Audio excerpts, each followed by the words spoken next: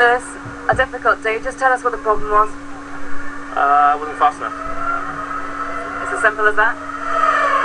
Pretty much, uh, I feel like I got everything out of the car. I just, just really didn't have any more grip out the tyres. So, um, unfortunate, but we still have a good race tomorrow, hopefully. You came in halfway through that. I mean, were you making changes? Was there anything you could do to get more out of the car? No, I got uh, basically my first run. I got uh, a lot of traffic, so I wasn't able to, to do a lap.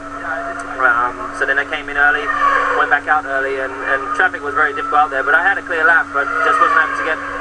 It's been a difficult 16 hours for you. I can imagine that Australia is slipping down on your favourite places to visit. Have you got anything to say about last night?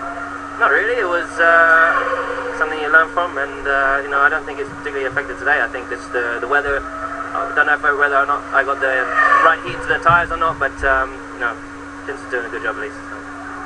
Yeah, obviously, well, we all know Lewis is going to be very disappointed with that performance. I think this morning he was a little bit distracted after what happened last night, and uh, in that session he just couldn't feel the grip, had probably overdriving the car a little bit, and it's so competitive you just can't get away with that. So uh, disappointing for him. For Jenson, I think it was a good lap. I think Red Bull clearly got the pace at the moment, so uh, for Jenson to be up on the second row is a good good performance.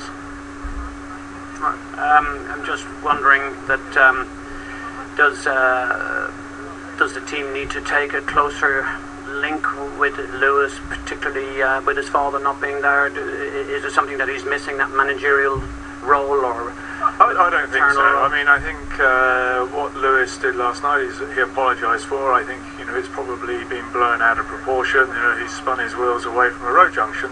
He shouldn't be doing that. He knows that. Uh, but he is someone who takes those things to heart. I think they uh, certainly uh, played on his mind last night. I think he came in here and, uh, you know, because he is Lewis Hamilton, it gets a lot of attention. But, uh, you know, I think he's very comfortable in the team. You know, sometimes you have a good day, sometimes a less good day. I think this was one of those days where he will be disappointed with his performance. He's a very strong racer and you know we've seen him do some extraordinary races in the past. He'll be very determined tomorrow to put immense to it, and I'm sure he'll bounce back very strongly.